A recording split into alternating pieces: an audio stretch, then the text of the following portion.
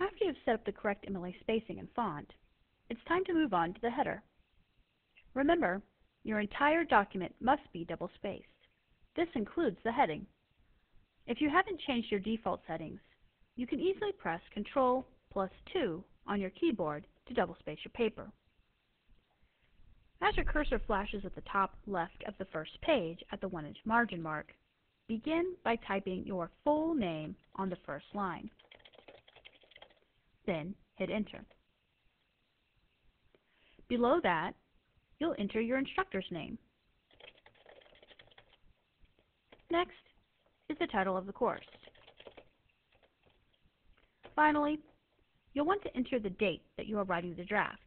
Remember to begin with the day, and then the month, and finally the year.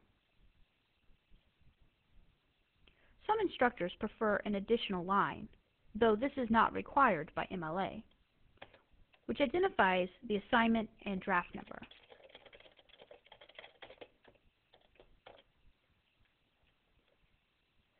Directly below your first page heading, you will need to create a centered title. To do so, first, on the Home tab, in the ribbon, you're going to select the center icon, or simply hit Control plus E on your keyboard to center your text. Then you're ready to type your working title.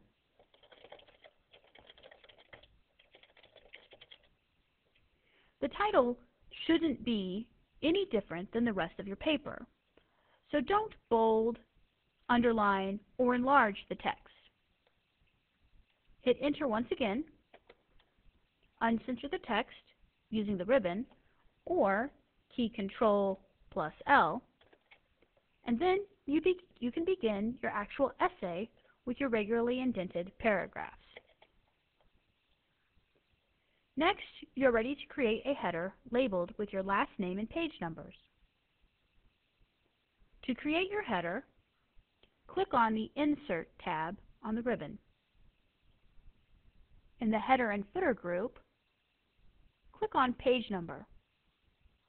Scroll down to top of page, and finally, select Plain Number 3 which justifies your page numbers to the right as required by MLA. You will see that the page number appears immediately in the upper right hand corner of the screen. Now all you need to do is type your last name and hit the spacebar once. Then double click on the main body of your paper in order to resume your composition or revision. After creating your header, you must decide if you want to keep your header on the first page. While having your name, teacher's name, and the like is mandatory first page content with MLA, as you learned, that information goes in the body of your paper so that it starts at the 1-inch margin, not in the actual header. With MLA, the header is reserved for your last name and page number. So the question is, do you want your last name and page number to appear on the first page of your document? MLA leaves this as a stylistic choice for writers. What that means is that you really need to check with your instructor or publisher to see what he or she requires.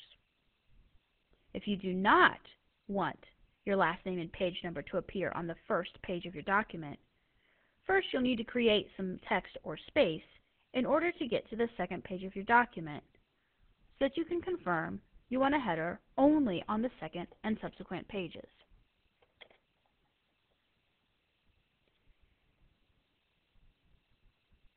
Once you're on page 2 of your document, double-click on the header so that the special Design tab appears in the ribbon. Under Options, check the box next to Different First Page. Then, double-click outside of the header and scroll up to page 1 to confirm that you no longer have a header on the first page. And voila! You're ready to continue.